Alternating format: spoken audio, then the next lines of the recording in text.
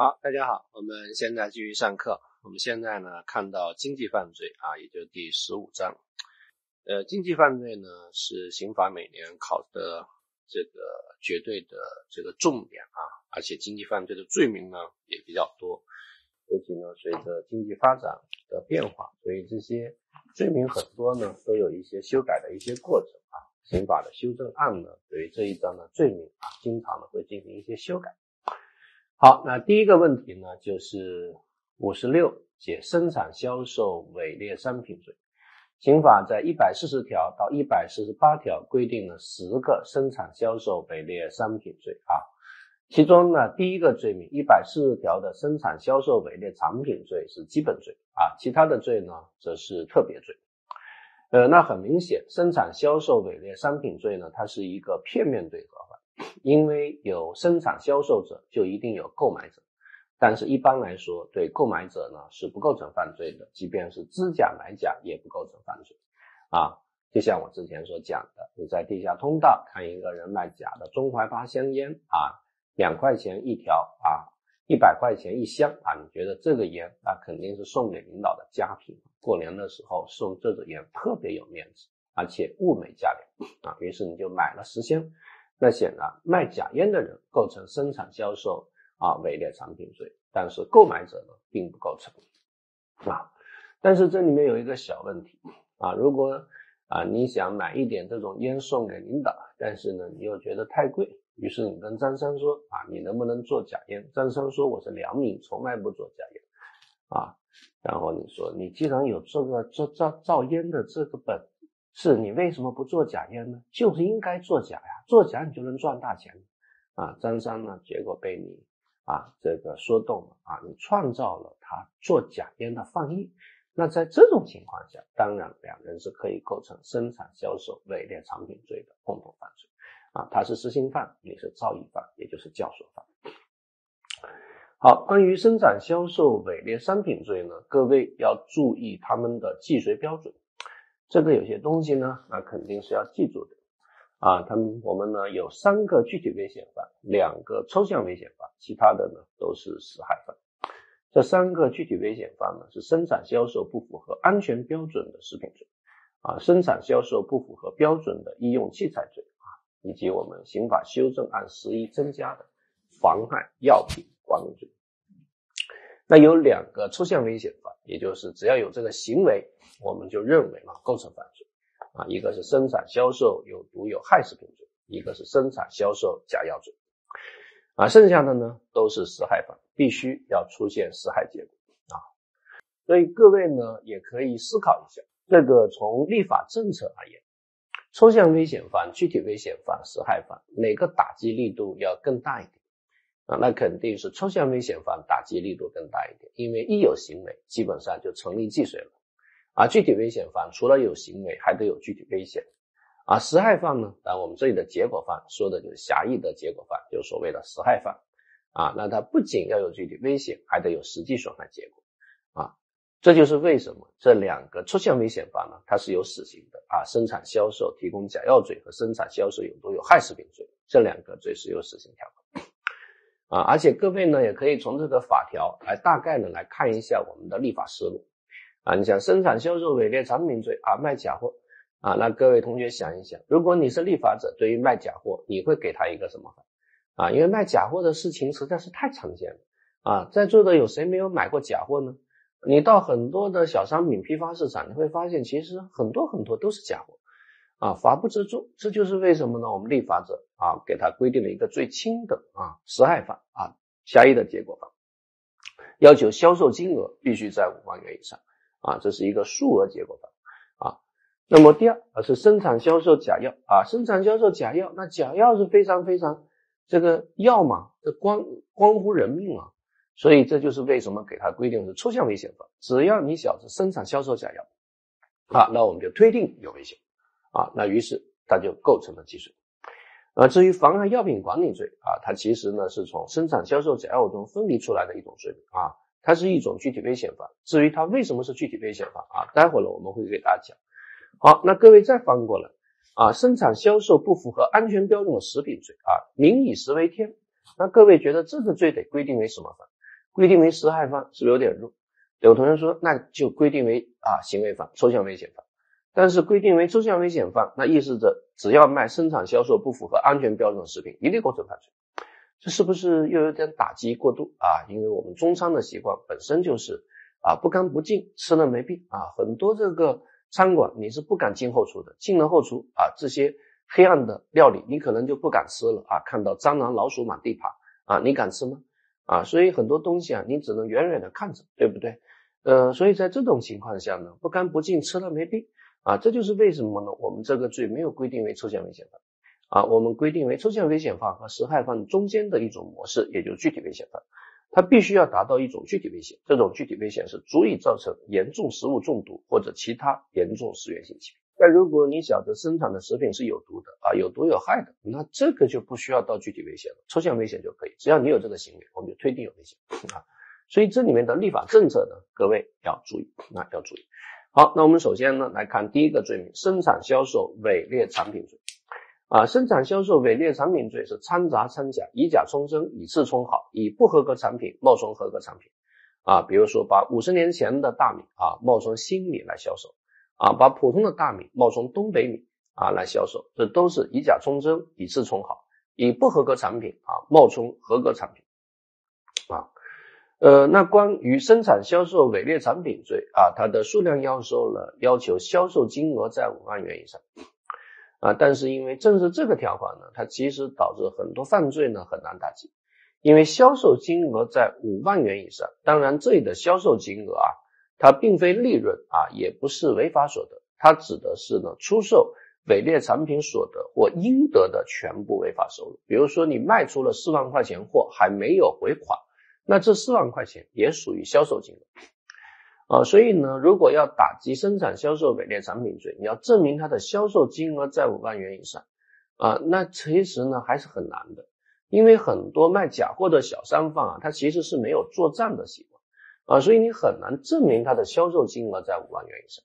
啊，所以这就是为什么呢？最后司法解释认为，销售金额在五万元以上呢，这个不是一个犯罪的成立标准，这只是一个犯罪的计税标准。如果你要证明犯罪既遂的话，那必须要销售金额在五万元以上。但是如果成立犯罪呢，那则不需要。那关键看你的存货，如果你的存货在十五万以上啊，那我们就认为构成生产销售伪劣产品罪的未遂啊。当然，如果你的销售金额在五万元以上，那就可以成立生产销售伪劣产品罪的既遂啊。所以这个呢，大家啊是要特别注意啊。比如说张三。啊，卖出了四万块钱的货啊，但是四万块钱还没有回款啊，结果在仓库里面呢收出啊，他还有十二万块钱的存货啊，那其实就可以整体性的啊看，把这十六万都看成存货，所以他就构成生产销售啊伪劣产品罪十六万的未遂。但是如果张三呢啊卖出去了十万块钱啊，然后存货呢还有九十万。那这其实呢属于生产销售伪劣产品罪十万块钱的计税，但是整体上啊的货是一百万，所以又可以看成生产销售伪劣产品一百万的未遂啊，从一重罪论处，这个是不需要区分的，你不能说十万的计税，九十万的未遂，因为如果要区分的话，那它其实就是数罪并罚了，那其实处罚呢就太过于严苛，那我们还是按照竞合犯从一重罪呢。来进行处理啊啊，十万块钱理解为计税啊，一百万理解为未遂，然后想象竞合啊，从一重罪。好，生产销售啊假药罪，那么刑法修正案十一啊，那考虑到有些医生呢开假药，所以呢又增加了一个行为模式，叫生产销售提供假药罪啊。那大家呢应该都看过，我不是药神啊，那就知道假药这里面所涉及的啊一些小问题啊。因为呢，这个呃，刑法修正案八关于生产销售假药啊，一在一九九七年刑法中，生产销售假药呢，它其实是一个具体危险犯。但是后来考虑到这个假药类犯罪啊，这个非常非常的猖獗，所以二零啊一一年这个刑法修正案八就把生产销售假药罪呢，从具体危险犯修改成抽象危险犯。啊，那一下就出现了一个极大的问题啊，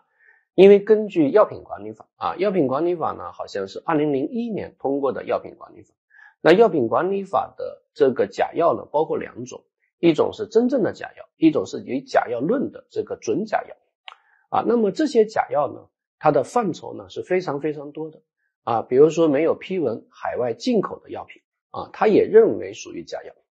那从二零零一年这个药品管理法出台之后，到二零一一年。这个长达十年之间，其实并不会有太大的问题啊。你海外进口的药品啊，虽然属于药品管理法意义上的假药，属于行政法意义上的假药啊，那它可以做行政处罚啊，没有问题。但是呢，它很难让人呢去受到刑事处罚，因为刑事处罚要坐牢啊，这个是非常严厉的品项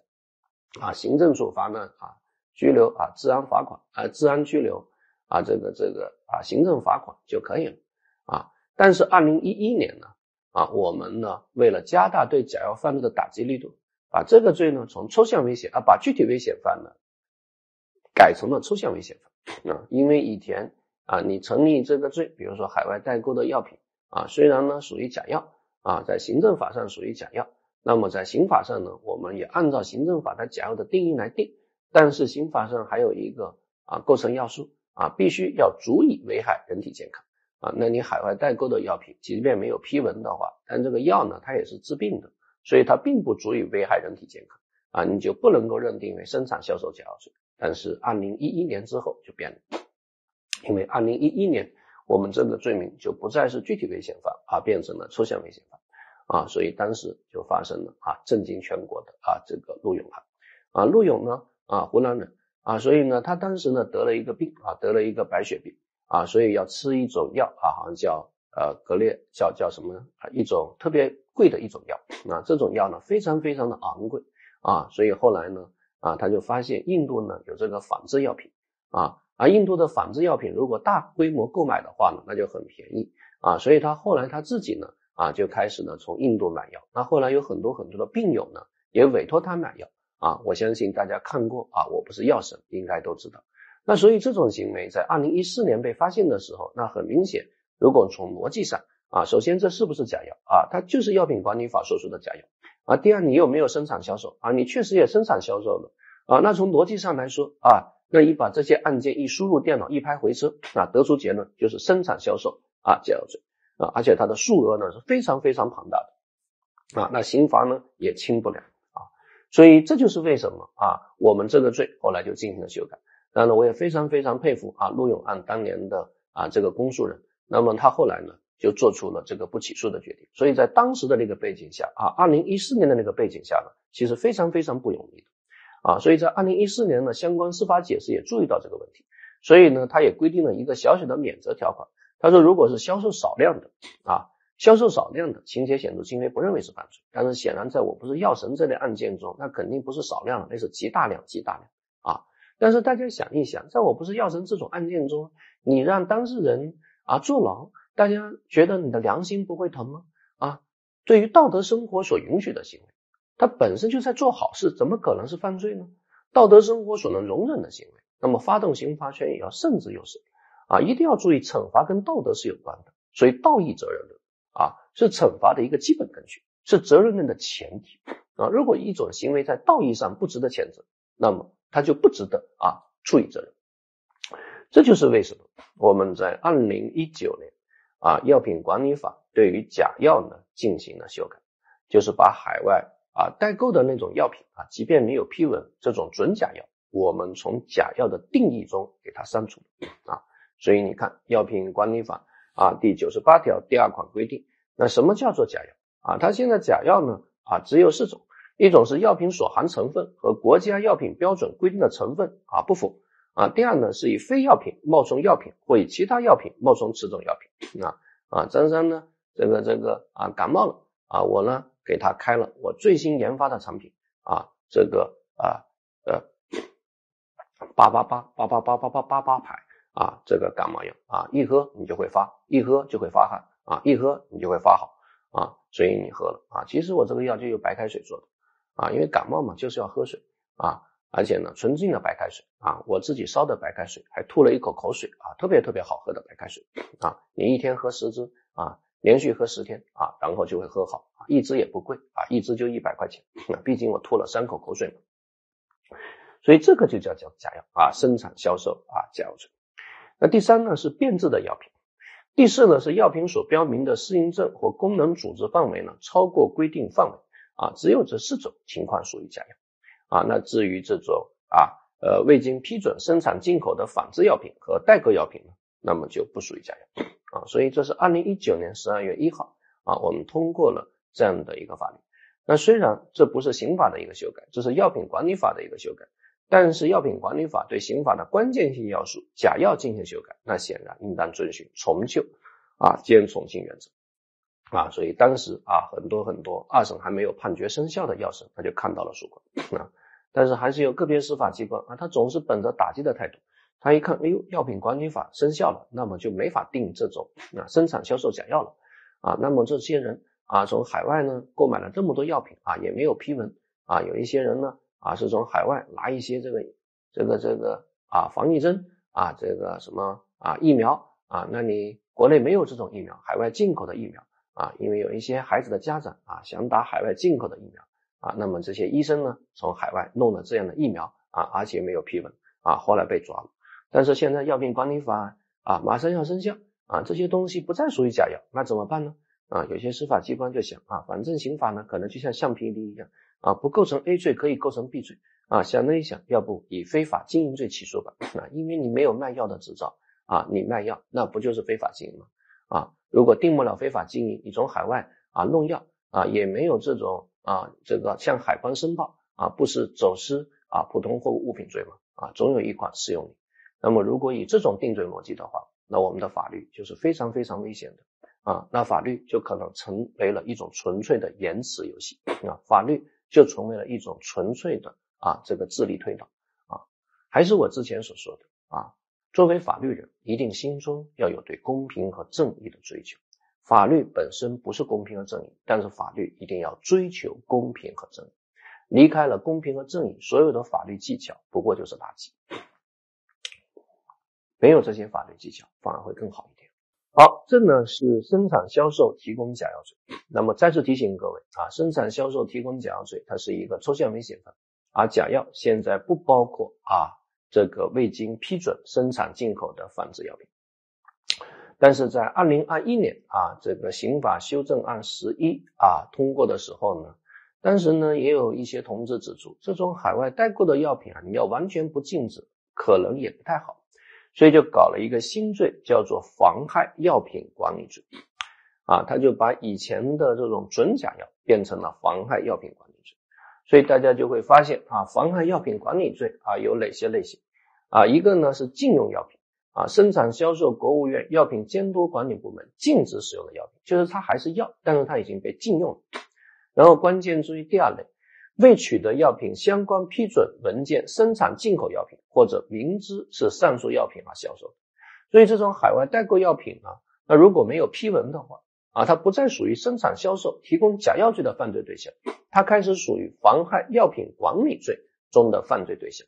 啊，以及呢这种啊在新药注册的时候造假啊，药品申请注册中提供虚假的证明啊数据资料样品或者其他欺骗手段。啊，以前这些行为都是定生产销售假药罪啊，但是现在呢，它属于妨害药品管理罪的行为方式啊。第四就是编造生产检疫记录的。那当时在呃制定这个罪的时候啊，有些同志指出，那这个罪呢也可以规定为抽象危险犯啊，一有行为就可以理解为犯罪啊。但是后来这种观点受到了啊很多学者的抨击，说你要这么做的话，那就导致我不是药神啊这类案件又会重出江湖。药品管理法的修改就变得毫无意义，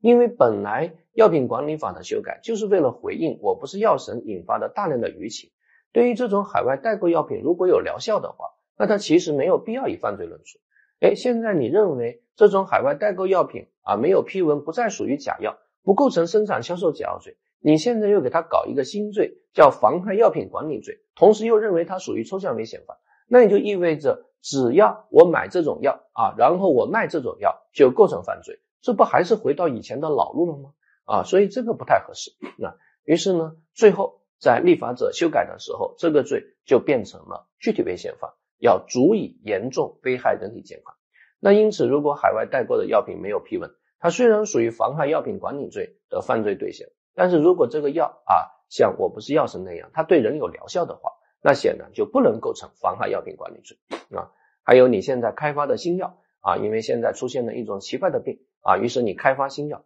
但是开发新药它的过程是非常缓慢的啊，它需要很多很多的实验啊，需要有三期的实验，但是你这些实验数据你全都是造假的。啊，因为你觉得啊，为达目的可以不择手段嘛，我反正是为了治病救人嘛，那么这些冗长的手段都可以删掉啊，那所以呢，你就做了大量的虚假的证明数据，巴拉巴拉一大堆。那请问能不能构成妨碍药品管理罪呢？啊，我们认为也不构成啊，因为你这个药毕竟是有疗效的啊，所以它并不足以严重危害人体健康啊，所以请各位一定要注意，妨碍药品管理罪呢啊，它所针对的行为方式一二三四，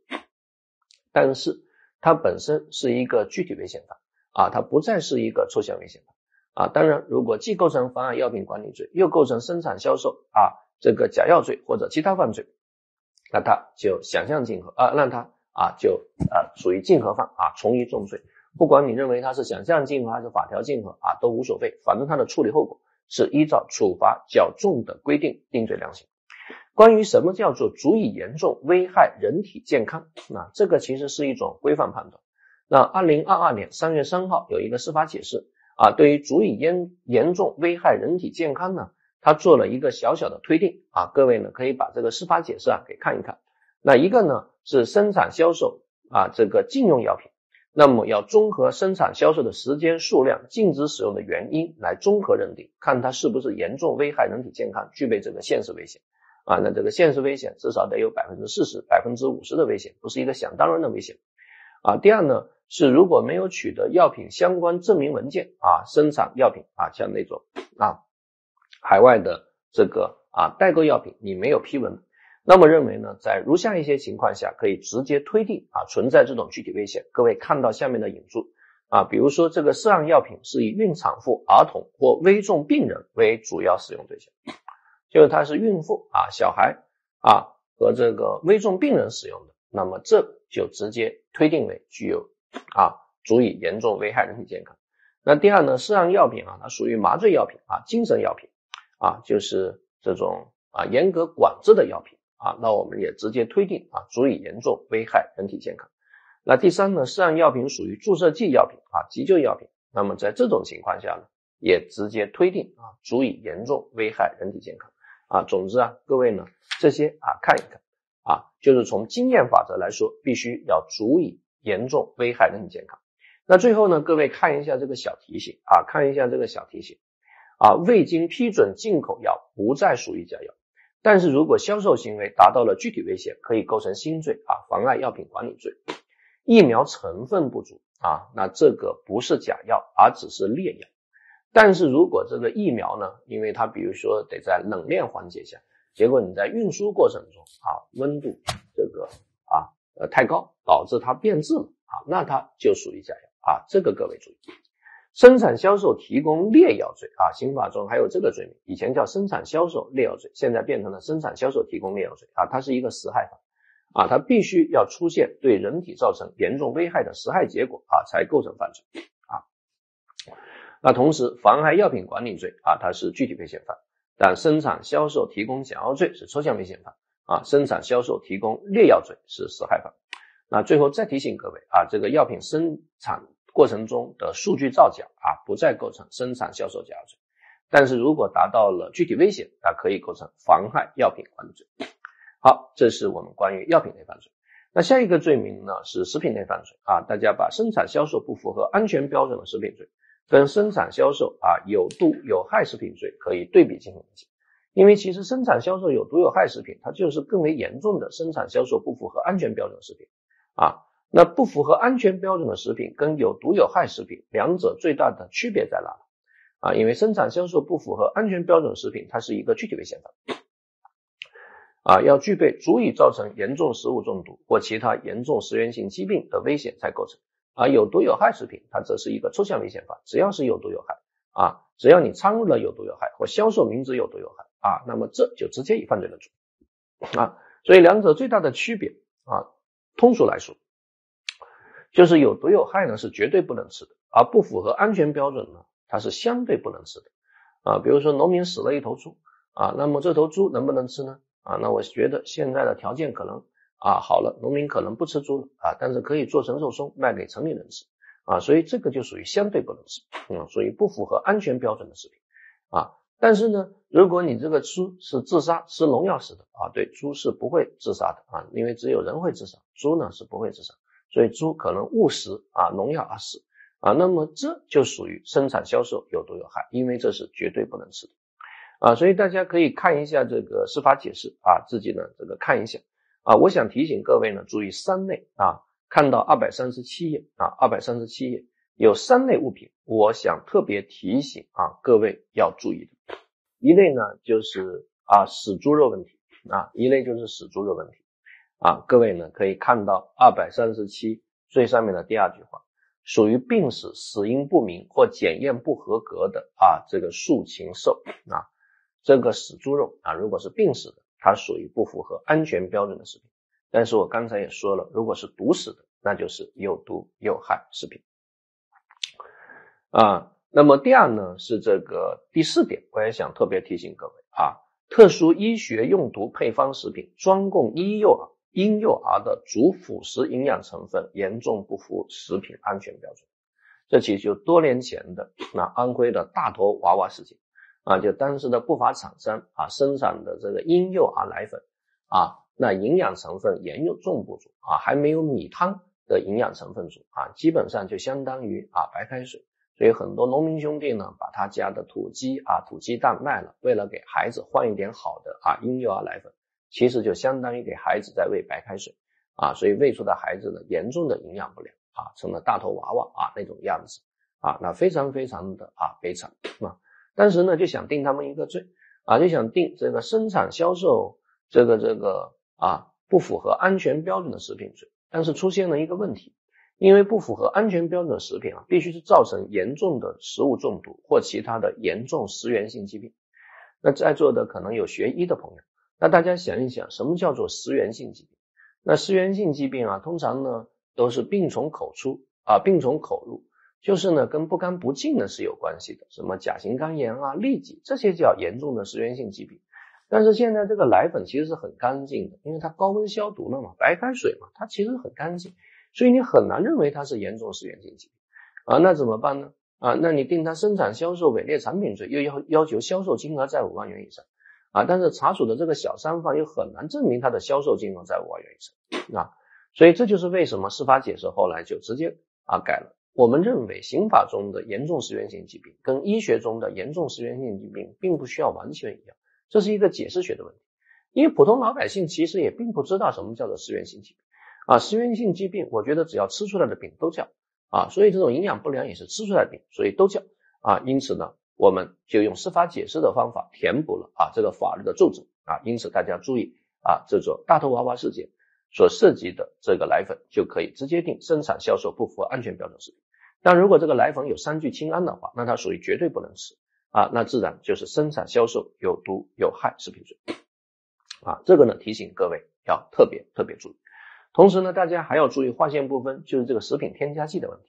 啊，因为大部分的食品其实都有添加剂，但是如果滥用添加剂，足以造成严重的食物中毒事故，那么还是定生产销售不符合安全标准食品。当然，如果这个添加剂有毒啊，比如说有亚硝酸盐啊，有这个苏丹红啊，有这个孔雀绿啊，就人绝对不能吃的啊，有瘦肉精啊，那么就直接认定为生产销售有毒有害食品罪。那这里面我也想特别提醒各位，有三种东西啊，那肯定是属于有毒有害食品。来看到这样的一个小提醒啊，看到这样一个小提醒，如果呢有瘦肉精啊、地沟油和三聚氰胺，大家就不用想了啊，直接就认定为有毒有害食品。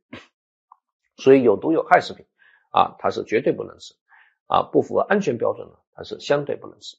啊。所以张三家有一只猪啊死了，这个猪呢是吃农药啊，可能自杀的啊，殉情而死。看到啊，他所喜爱的母猪跟另外一只公猪好上了。所以这只猪百无聊赖啊，就吃了八个耗子啊，然后耗子里面啊，这个耗子是中毒死的，所以这个猪就死了啊，也属于殉情自杀的一只有情猪啊。那张三啊，以为这个猪啊是病死的啊，所以就做成腊肉啊卖给城里人吃啊。但是其实这个猪是被毒死的，但是张三不知道啊。所以呢，很明显，主观上他想干嘛呢？主观上他想实施的是生产销售不符合安全标准食品罪，而客观上呢，它是有毒有害。那主客观在哪个范围内重合呢？主客观是在生产销售不符合安全标准的食品罪范围内重合的。所以大家要注意这样一个主客观相统一的问题啊。那么另外一个案件啊，非常非常经典啊，这个鸭脖子案啊，张三和李四都卖鸭脖子，但是李四的鸭脖子卖的特别好啊，张三的鸭脖子卖的特别不好，所以张三非常的嫉妒，就在李四家的鸭脖子的卤水里面啊，放了半公斤亚硝酸盐啊。那李四当天晚上做鸭脖子的时候，觉得这个卤水怎么有刺鼻的味道，但是他觉得可能是放的时间太长了啊，放馊了，那没关系，加一点醋啊，加一点盐，可能就好了。所以李四继续制作这种鸭脖子啊，最后很多人吃了死掉了。那显然对于李四而言，那他并不知道这个卤水里面放了亚硝酸盐，他主观上认为这个卤水是馊掉了，是坏掉了。所以呢，他的主观上应该是生产销售不符合安全标准的食品，但客观上是生产销售有毒有害。所以对于李四直接定生产销售不符合安全标准食品罪，但导致的死亡结果这是有过失的，所以属于生产销售不符合。安全标准食品罪的结果加重分，但是对于张三啊，你故意在别人的食品原料中投入这个非食品原料，啊，直接就定投放危险物质罪啊，因为你的目的也不是为了盈利。好，那本讲犯罪的法条竞合问题，这个之前呢也讲过啊，一百四十九条有两款啊，那么首先第一款是大圈和小圈，那肯定呢是在大圈的范围内重合的，普通法和特别法是在普通法的范围内重合的啊。这个生产销售伪劣产品罪跟生产销售特殊的伪伪劣商品类犯罪，那肯定是在普通法范围生产销售伪劣产品的范围内重合的。但是如果不构成特别法的话啊，那么如果啊符合了普通罪的构成要件，销售金额在五万元以上啊，那就直接构成生产销售伪劣产品罪啊。比如啊，我们刚才说过啊，生产销售这个病死的猪肉啊，那么必须啊。要足以危害人体健康啊，方才可以达到生产销售不符合安全标准食品罪。但是如果你生产销售不符合安全标准食品，最后经过鉴定啊，并没有达到足以危害人体健康，但是呢销售金额在十万元啊，那我们就可以直接认定为啊生产销售伪劣产品罪。比如说你卖啊陈大米战备粮啊，五十年代出品的这个战备粮食啊，但是呢你说战备粮五十年的。陈粮跟现在的新粮相比，呃，它可能也并没有达到足以危害人体健康的程度啊，因为它毕竟啊是粮食啊，采取了特工特殊的这个啊呃储藏方法啊，所以呢，它并不能说是足以危害人体健康，那你就定不了生产销售不符合安全标准食品罪。但是毕竟啊是以假充真，以次充好，以不合格产品冒充合格产品，那就直接定生产销售伪劣产品罪。那第二呢是法条竞合的处理啊，法条竞合的处理呢，那本来应该采取特别法优于普通法，但我们之前讲过，根据罪行相当原则，这里采取了一个例外规则，就是重法优于轻法啊，重法优于轻法。所以如果甲生产生猪时在饲料里面大量添加对人体有害的瘦肉精啊，销售金额达到六万元，那它其实既构成生产销售伪劣产品罪的既遂，又构成生产销售有毒有害食品罪啊，想象竞合啊，从一重罪啊，从一重罪。呃，其他的问题啊，如果呢生产销售伪劣产品啊，同时又构成侵犯知识产权、非法经营啊，就像我们之前所说的卖假烟啊，你造假烟来卖，既构成生产销售伪劣产品罪，又构成假冒注册商标罪啊，如果没有卖烟的资格，还构成非法经营罪啊，想象竞合从一重罪啊，那如果你卖假烟的时候啊，工商来查你，你把工商给打了一顿啊，那就数行为数法益啊，应该以这个罪和妨害公务罪实施数罪并罚。最后呢，再提醒各位注意认识错误的问题啊。普通法和特别法在普通法的范围内是重合的啊。如果是同类法益的话，重的和轻的在轻的范围内重合。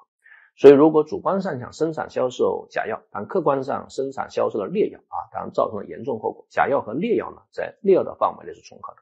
啊，因为重的和轻的同类法益在轻的范围内是重合的。啊，不符合安全标准食品与有毒有害食品啊，在不符合安全标准食品范围内重合的啊，这个我们讲过很多遍。张三呢想销售伪劣的农药啊，但却销售了伪劣的兽药啊。有人说啊，农药跟兽药在哪个范围内重合呢？啊，是不是在药的范围内重合啊？这肯定是荒谬的啊，因为刑法中有一个罪名啊，叫生产、销售、伪劣农药、兽药、化肥种子罪啊，但考试的时候会把这个罪名告诉你，因为很少有人知道这个罪名，所以这其实属于选择性罪名的重合，因为农药和兽药都是犯罪对象。那主观上想生产销售伪劣的农药，客观上生产销售的伪劣的兽药，那就直接定啊销售伪劣兽药罪就可以了。像主观上想拐卖妇女，客观上拐卖了儿童，那就直接定拐卖儿童罪就可以了。好，那第四，张三想销售伪劣的兽药啊，但却销售了啊人用的劣药啊，像前段时间有人这个抢药啊，结果没有抢到人吃的啊，抢到了猪吃的啊，于是也吃了，吃完之后发现是猪吃的啊，还有一些更厉害的人啊，抢到的药呢是属于这个。啊，外用药，结果呢，他也当口服给吃了，啊，这个都都都都都都都很厉害啊，都是天才。所以呢，如果啊想销售伪劣的兽药啊，但却销售了人用的劣药啊，这个怎么定？有人说这不都是药吗？在药的范围内重合，那就人和猪可以在人的范围内重合，或可以在猪的范围内重合，这显然是荒谬的啊。那你就注意，伪劣的兽药跟生产销售劣药，其实在药的范围内是不重合的。啊，因为人跟猪在猪的范围内是不重合的，啊，在人的范围内也不重合，啊，因为劣药它是人吃的，啊，兽药是猪吃的，啊，两个药是不能共通的，啊，那所以在这种情况下，它其实在更大的范围内，就生产销售伪劣产品罪的范围内是重合，所以直接定销售伪劣产品罪就够了。好，这是五十六讲。